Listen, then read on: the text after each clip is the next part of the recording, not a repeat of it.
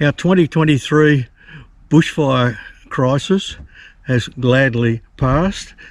We were very lucky. The flames came right up to the edge of our property and we had three spot fires jump onto our land. The fireys were there even at four o'clock in the morning and put those spot fires out. Otherwise it would have come through here. Uh, I'm glad that I've been doing years worth of clearing and backburning. Every year I do backburning and mowing to keep the risk down.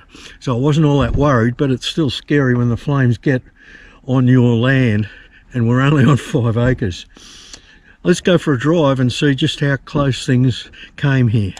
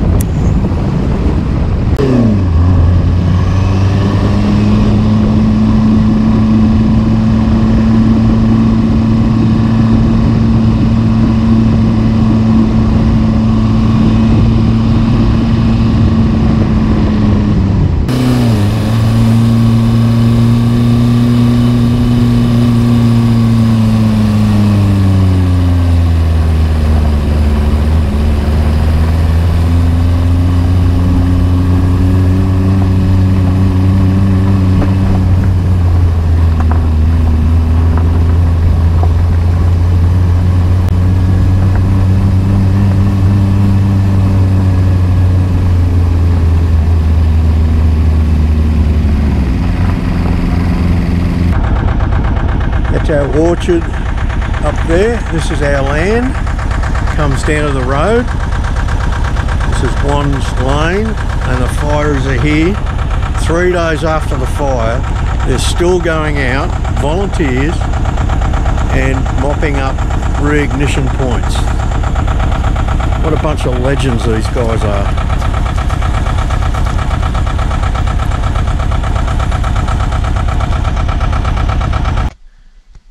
This is Wands Lane and the fire burnt all the way down along this road during the night, Monday night, and the fireys were here, uh, back burning it. And then on the Tuesday, it reignited here and it jumped the road onto our land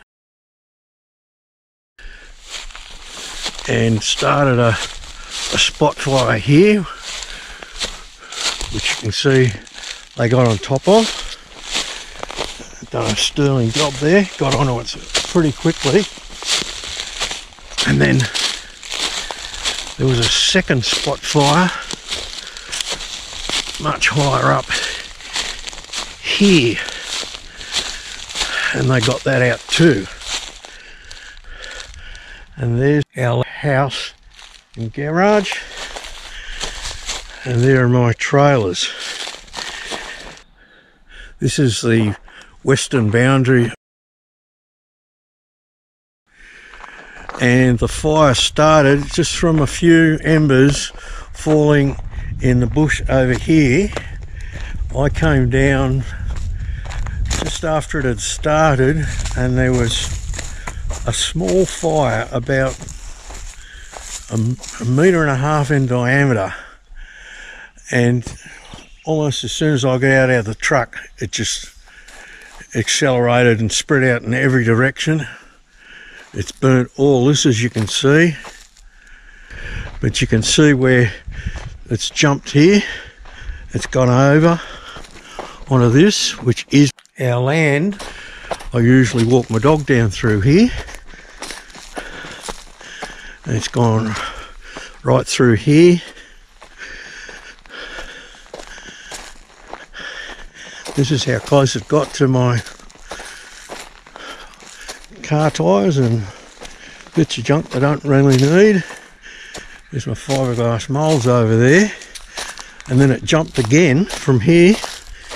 It jumped and I saw this happen. I was standing right here at night time when it happened. Just a spark popped over and this area went up. These two tanks were left by the owner of previous owner who used to own petrol stations.